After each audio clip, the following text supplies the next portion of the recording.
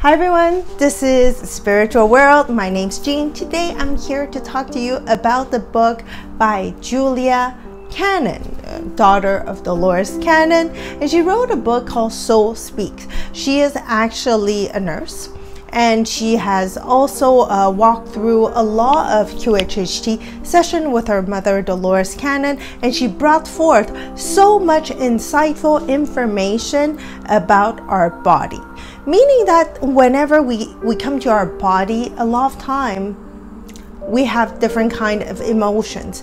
And when we have different kind of emotions when it gets built up it could get stored in different kind of body parts. And that could really affect different kind of diseases forming. So in her book she says it was very important for us to understand that fear does not exist.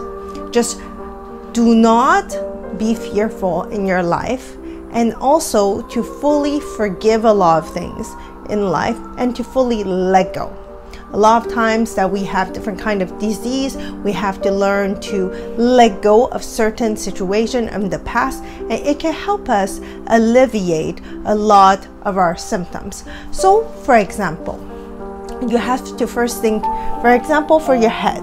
A lot of time whenever you have headache or migraine it's related to your past life situations but there could also be cases that's related to your current life stress your current life situation that's causing you quite a bit of stress. Now, there's also related to the heart. Whenever you have a heart attack, it would be more significantly like uh, heart issues. It would be associated when you're not uh, following your life choices and you're having problems when it comes to your love life. When it comes to your pancreas, whenever you have a problem in your pancreas, it's because you have a little joy of life. So it's like it means you lack sugar, but it also means that there's a lack of joy. You need to do things that truly, truly makes you happy and enjoyment and fulfilled. Now there's also the case of anorexia. So people will wonder why people will have anorexia. Well, it is usually a form of a strong dislike toward their self. They don't like themselves. They're so they're unconsciously starving themselves to death. So it's very important to learn to self-appreciate, self-love to counter anorexia and bulimia. In addition to that, today I'm going to talk to you about when it comes to your hips.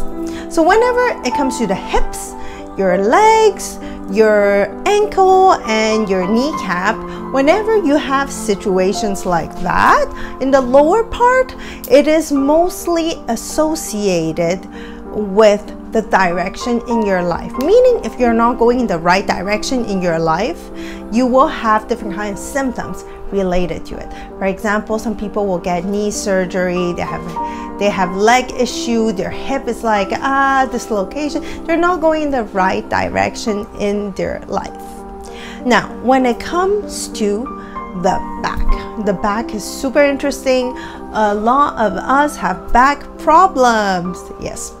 So, whenever it comes to the back, you have to first identify if it's the lower back, the middle back, or the upper back.